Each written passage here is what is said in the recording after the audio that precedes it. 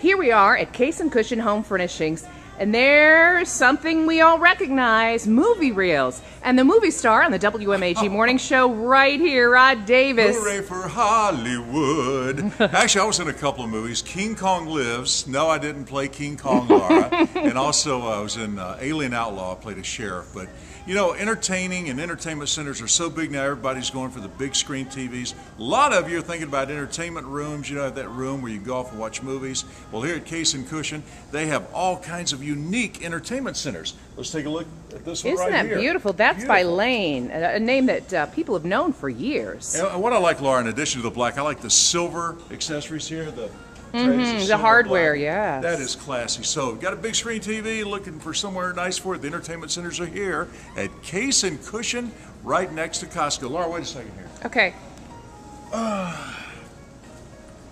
Uh, put get your feet off the furniture. bring You, don't remote, own this. darling. I need the remote. Yeah, Darling. right after I fetch you a uh, Midori sour, baby.